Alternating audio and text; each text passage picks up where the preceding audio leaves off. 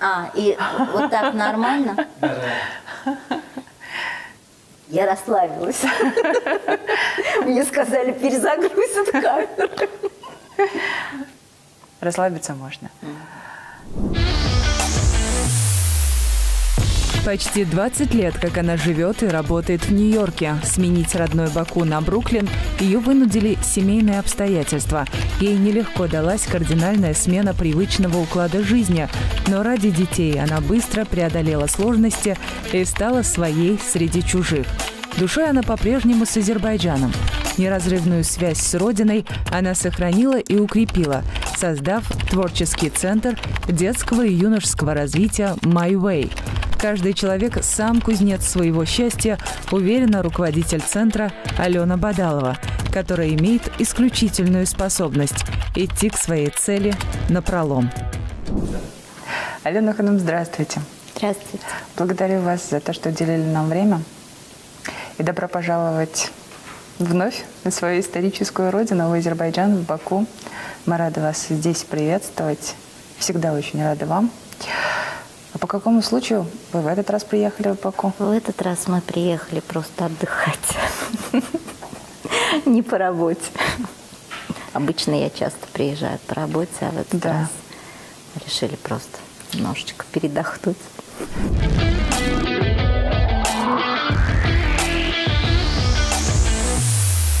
Последние годы у вас было не очень все хорошо, хотя вам уже казалось, что пришли к определенному такому замечательному, скажем так, Этапу, да? Да, в каком-то степени и этап, это так тоже можно назвать, но все было хорошо.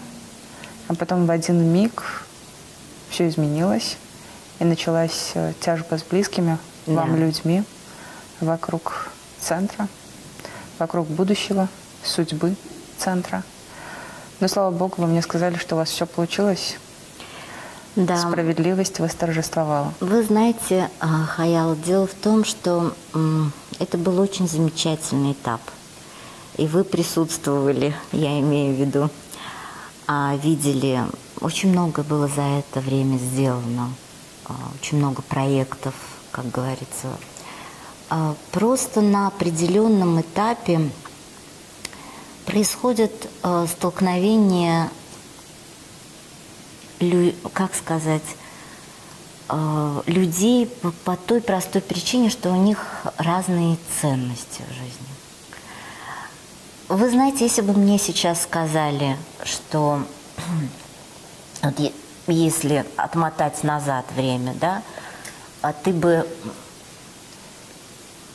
еще раз вот как бы начала так, как ты начинала, да, Потому что, вы понимаете, пока ты с людьми не поработаешь, ты не будешь знать. Это все опыт. И, и он был очень Печальным и горьким.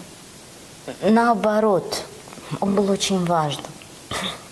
Потому что создание этого центра было как бы не мной только. И я всегда думала, что вот это партнерство вместе, оно принесет определенные плоды. И на определенном этапе это приносило. А потом это стало, наоборот, мешать развитию центра. Потому что люди видели путь развития по-разному. А когда уже люди начинают видеть путь развития по-разному, тогда, конечно, уже командной работы не получается. И приходится делать выбор. Они сделали свой выбор, я сделала свой выбор. Можно ли было это избежать? Можно было это избежать. Но тогда бы я не осталась собой. В моей жизни э, мне приходится не раз, приходилось не раз делать такой выбор. Остаться собой или э, избежать вот таких вот столкновений. Я все-таки выбираю остаться собой. Потому что когда человек внутри не в ладах с собой, это намного хуже, чем человек сталкивается в конфликтных ситуациях с другими людьми. Конечно, можно было а, попытаться понять, но когда понятия настолько полярно разные, здесь уже просто приходится делать выбор. И если я до этого не думала, то есть я занималась только творческой, организационной работой центра, то здесь мне пришлось осваивать другую тему. Это тема финансирования центра. То есть и то, и другое. И по этому направлению я приобрела очень большой опыт, которого у меня в жизни не было. Потому что творческие люди, они редко когда могут думать о финансах и, и решать эти вопросы. Они в основном занимаются творчеством. А мне пришлось, и я очень рада, что я и этому научилась в жизни. У каждого своя правда. Как вы думаете, вы смогли бы вновь с ними сотрудничать? Не сотрудничать, а может быть просто вернуться к тем семейным ценностям, которые у вас были прежде? Наверное, нет, потому что многое что порушено – очень многое. То есть э, в любом столкновении есть границы. Есть люди, которые соблюдают эти границы, есть люди, которые рушат так, что просто обратной дороги нет. Здесь, к сожалению, получилось именно так, что обратной дороги нет. Но, тем не менее, я рада, что каждый из нас пошел своим путем. Потому что очень многое я бы не смогла сделать, наверное, если бы мы дальше были вместе. Наверное, так. Вы сами по образованию педагог. Почему выбрали педагогический? Я очень люблю детей. Я с детства как-то, вот даже когда училась в школе, даже в школе я уже преподавала. То есть, когда я поступала а, в педагогический имени Ахондова, то у меня за школу была характеристика. То есть я два года преподавала в младших классах. То есть... Как ассистент преподавателя это? Или... Да. Вот директор нашей школы и зауча, они вот пошли на такой эксперимент. И у меня было написано сколько-то часов а что в начальной школе я преподавала. Конечно, вначале меня не оставляли одну. Как вот. трудовой стаж получается у вас. Да. Вот, поэтому мне всегда это нравилось. Но хотела я, честно говоря, преподавать э, все-таки в детских домах. Вот. Но мой папа, он всегда говорил, что почему-то боялся, что если я буду работать с детьми в детском доме, а, то у меня не будет своих детей. То есть я буду как бы полностью этому отдана. Ну, не знаю. Вот. Может быть, этого бы и не случилось.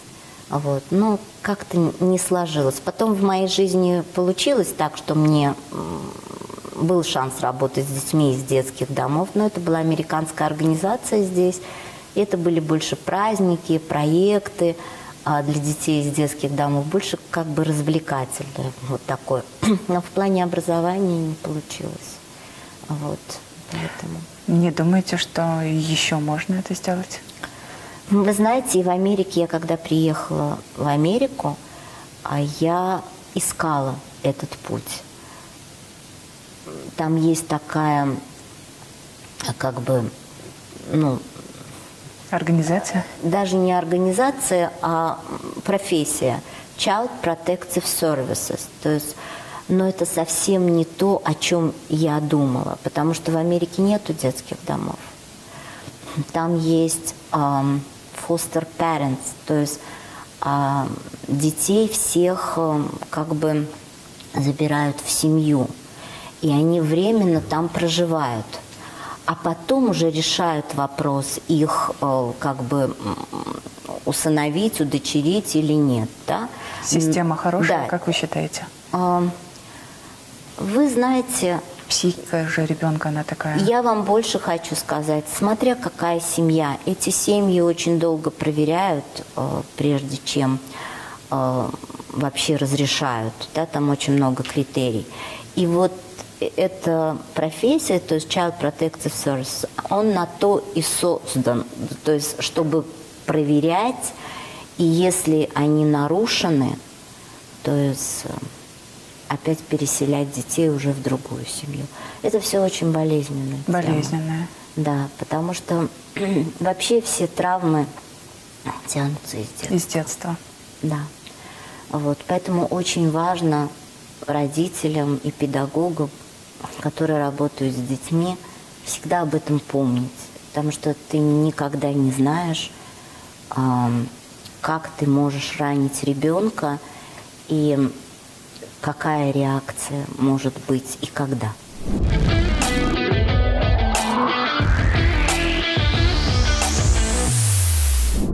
Еще говорят, как сапожник без сапог.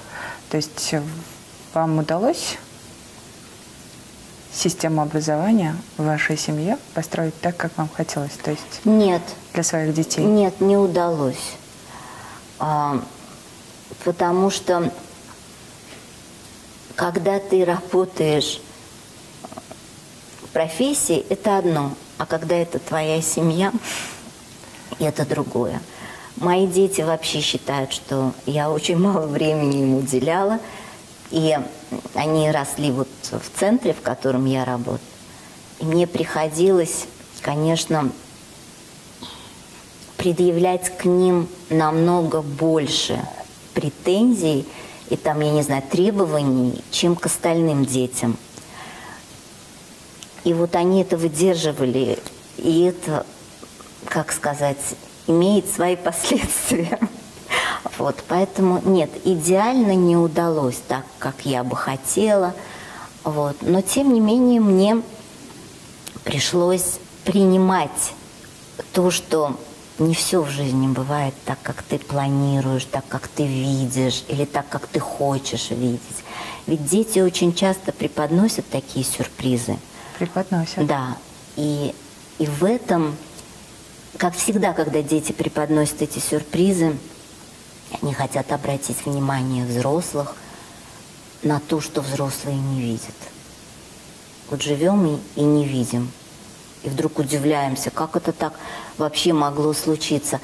А это как раз отражение того, чего ты не видел столько времени. И это периодически происходит с моими детьми. Ну, то есть в отношениях меня и моих детей. Как педагог по образованию стал менеджером сети салонов красоты? Дело в том, что в то время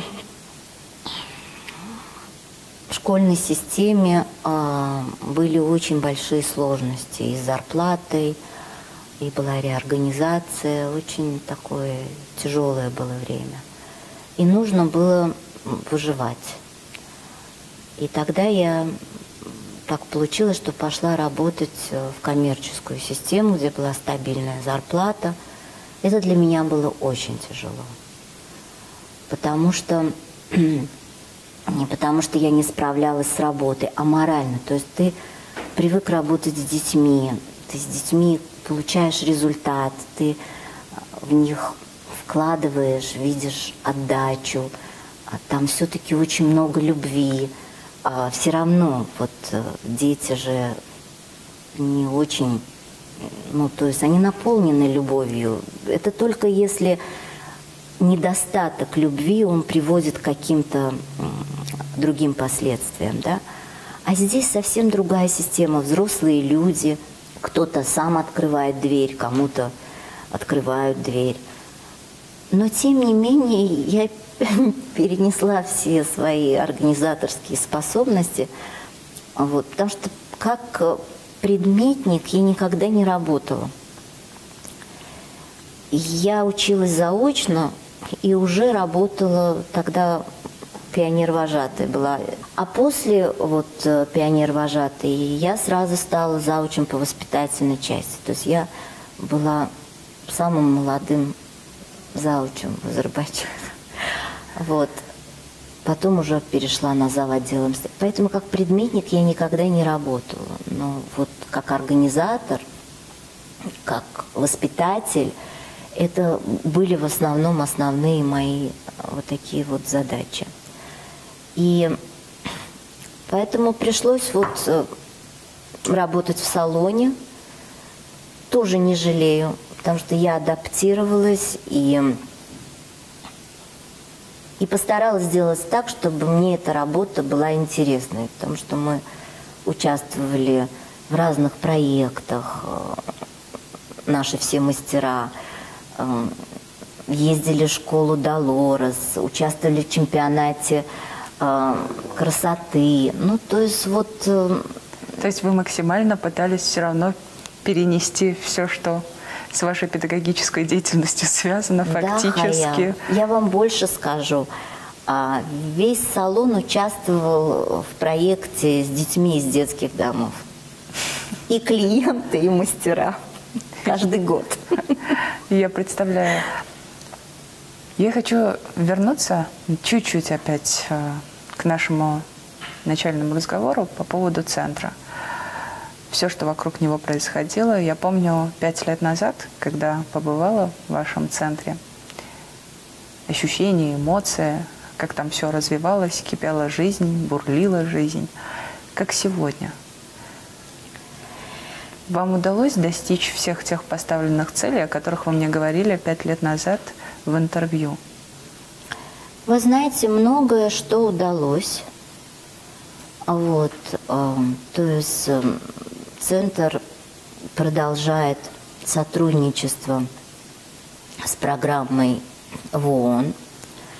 Вот, это вышло на другой уровень. Центр за 9 лет добился того, что начал получать гранты.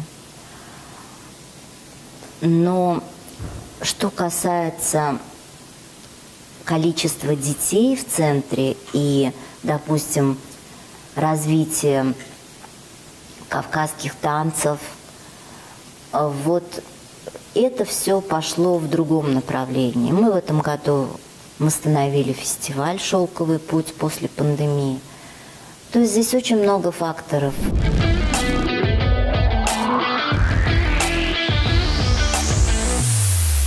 Вы знаете, вот кавказские танцы, почему я все время за кавказские танцы, потому что я с этого начинала, и для меня это очень важное направление, для меня лично самой. Я вот каждый раз думаю, что, может быть, уже вот пришло время как-то от этого отказаться, и каждый раз все равно возвращать. А, потому что его держать очень тяжело по разным причинам. Первое – это нехватка педагогов – потому что там найти педагога, который может научить и азербайджанским танцам, и кавказским. А у нас нету достаточно азербайджанцев, допустим, чтобы сделать только азербайджанское направление. И нету достаточно детей, которые хотят изучать э, лезгинку, кавказские танцы. И получается вот все время лавировать, да, между, чтобы и это чуть-чуть было, и это, чтобы и эти дети могли как бы научиться, и чтобы они сохраняли культуру, и те сохраняли культуру. Потому что горские евреи, они проживали вот э, в семье Северный Кавказ, Азербайджан, вот, это лезгинка больше, потому что у горских евреев всего два танца. Это харс и и нежность. И то вот они как-то были поставлены Танху Израилу. Вот, азербайджанских танцев очень много, но, к сожалению, нету достаточно столько спроса, а вот, хотя у нас немало живут как бы азербайджанцев. Плюс это костюмы, это очень дорогое направление. И его иногда, не иногда, а очень часто приходится а, содержать за счет других направлений. И получается, что вроде бы э, с точки зрения бизнеса это неправильный шаг. А вот с точки зрения внутренних убеждений, желаний, и вот не знаю, почему я так зацепилась за это все уже очень много лет. И мне все с каждым годом все кажется, что все меньше и меньше людей думают так, как я. Но тем не менее, пока, наверное, не пришел, не пришло время это до конца отпустить, потому что вот уже у нас сейчас малыши, практически вот с нуля мальчиков у нас, ну, представьте, что это был ансамбль а, в 50, в 60 детей, да, ну, 45 минимум. А, а сейчас? сейчас это, да, и были дети разных уровней, то есть разных возрастов, то есть малыши могли видеть старших, у них учиться. А сейчас получается, что а, девочек у меня две группы, Одни, которые год занимаются, вот вторые только летом пришли недавно, новички совсем. А в чем причина? Хаяла очень много причин. Связи с корнями все меньше становится? Наверное, даже не то, что связи, а люди не видят в этом необходимость. Вот в понимаете, э, нет, именно в сохранении своей культуры. Я так думаю. Потому что вот вы знаете, я с завистью смотрю на грузинские общины. Вот с белой завистью им завидую. У них танцуют и поют от мала до велика. Вот. И, и дети это видят. Что и бабушка танцует, и папа танцует, и дядя танцует, и все танцуют. А как же ему не танцевать? У нас этого нет. К сожалению. Так было всегда? или только сейчас? Нет, так было всегда. Просто раньше оно было как бы построено, да? А сейчас, если этому посвятить там 3-4 года опять, ну вот эти вот малыши опять вырастут. То есть с каждым годом будет приходить все новая группа, э, будут выступать на фестивалях, на этом. Но это необходимость, что это настолько важно. А ведь это настолько важно. Национальная идентичность.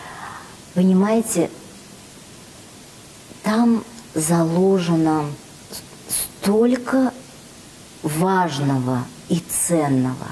Вы понимаете, вот этот сам подход того, что мой ребенок же танцором не будет. Конечно, не будет. И мои дети не стали танцорами потому что мой сын ветеринар, а дочка художник. Но то, что они столько лет занимались кавказскими танцами, там воспитание, там уважение, там отношения между мальчиками и девочками, между старшим и младшим. Традиция. Да. Заложенная. Да, заложенная.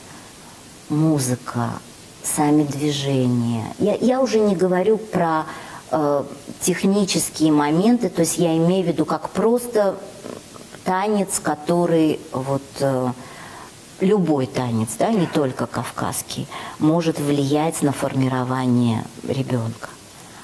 Но не знаю, грустно. Это связано с тем, что сейчас происходит, стираются все грани, что люди просто пытаются выживать и не понимают, что их ждет завтра?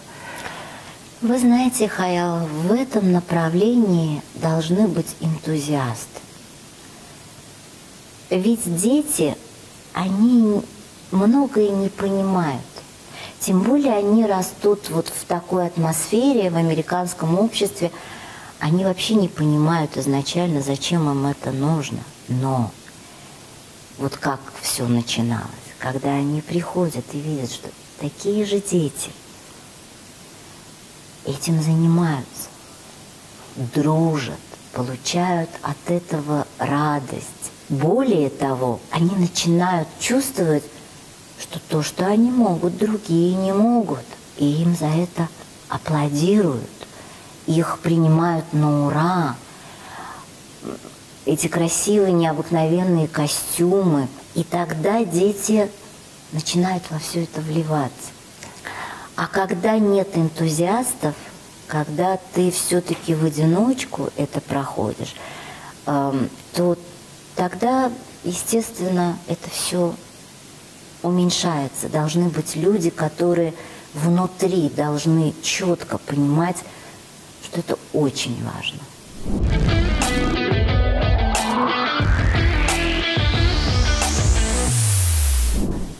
Как вы считаете, что происходит сейчас э, с нашим поколением? Полны ли они энтузиазма? И сможем ли мы сохранить свои корни и быть ближе к своей истории?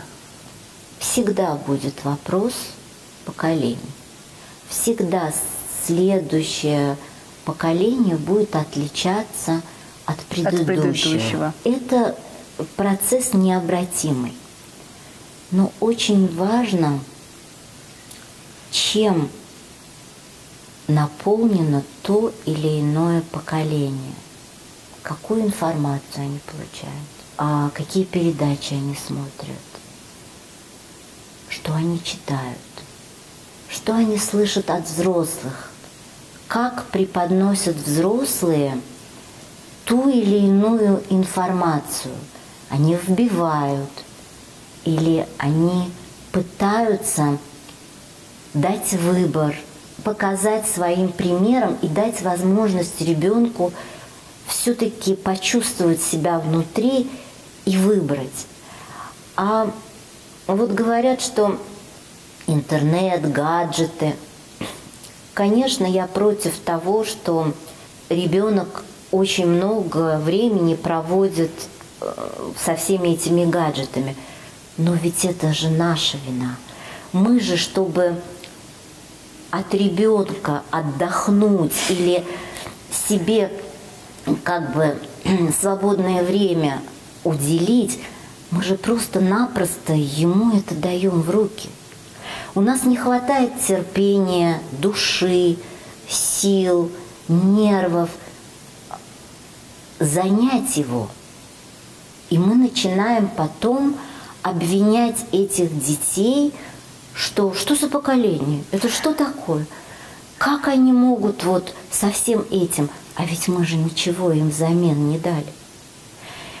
У меня раньше летом был лагерь. Уже много лет его нет, потому что у нас нет лицензии. Была летняя программа. Я так ее любила. Почему? Потому что одно дело, когда дети к тебе приходят на пару часов, а другое дело, когда они с тобой 8 недель с 9 до 5. Ух ты. И вы не представляете за эти 8 недель, какие происходили изменения в детях. Потому что были люди, которые готовы были им это дать преподнести так, чтобы они смогли посмотреть, отзовется у них это или потому что не у всех, дети все разные. Просто каждому ребенку нужен подход. Я не забуду один случай. У меня был один мальчик, он сейчас закончил military school. Он был очень сложный. Военная, но, да? Да. Но мама его специально отдала, потому что она решила, что по-другому они с ним не справятся. Я очень люблю сложных детей, очень. Мне с ними очень интересно. И он занимался у всех э, педагогов, а педагоги были, ну, как сказать, э, знакомые мамы. И терпели его еле-еле. И вот тоже в одной из конфликтных ситуаций он мне говорит, он в сердцах так крикнул, что я не, ненавижу педагогов, и они меня Слава Богу, тоже. А я так на него посмотрела, говорю, почему я тебя люблю? Он остановился, говорит, ты меня любишь? Я говорю, конечно. Я говорю, а ведь только тот человек, который любит, он за тебя переживает, ему не все равно. Да, так и есть. И это подействовало. Все-таки истинный педагог. Но американское общество считается одним из самых демократических. Вы как относитесь к демократии и считаете ли, что она сейчас существует? Вы знаете, да, она существует. А, то есть для меня демократическое общество, если работает закон. Если работает закон, и человек может быть защищен законом, значит в этом обществе есть демократия. Другой вопрос, что все решает общество. Здесь я не буду, как сказать, говорить, что в Америке все решает общество. То есть опять мое личное субъективное мнение, мнение. мои наблюдения. Да. А что касается работает закон, в этом я убедилась, потому что я отстояла свой центр. И после трех с половиной лет суда правда оказалась на моей стороне, на стороне закона. Поэтому я могу сказать, что все-таки это произошло в демократическом обществе. Но для этого потребовалось три с половиной года. Да.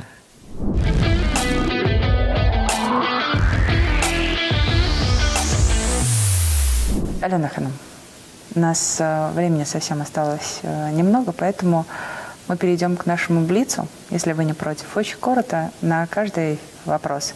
Баку или Нью-Йорк? И Баку, и Нью-Йорк. Что для вас Родина? Место, где живет моя душа. Любимое число? Нету любимых чисел. Любимое слово? Мир. Что для вас my way? Это мой ребенок. О чем нельзя говорить с мужчинами? С мужчинами можно говорить обо всем. А какой должна быть настоящая женщина? Любимой. Вот смотрю я на вас внешне. Вы такая вся воздушная, невероятно женственная, очень красивая. А какая вы внутри, Алена Ханом? Как вы считаете? Очень ранимая. Очень ранимая. Желаю вам всего-всего самого замечательного, чтобы у вас все всегда получалось. Я очень рада знакомству с вами.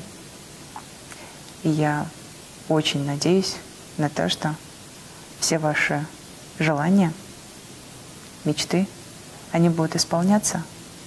Пусть будут встречаться трудности, но так вкус победы будет слаще. Конечно. И еще раз добро пожаловать. Рада всегда вас видеть.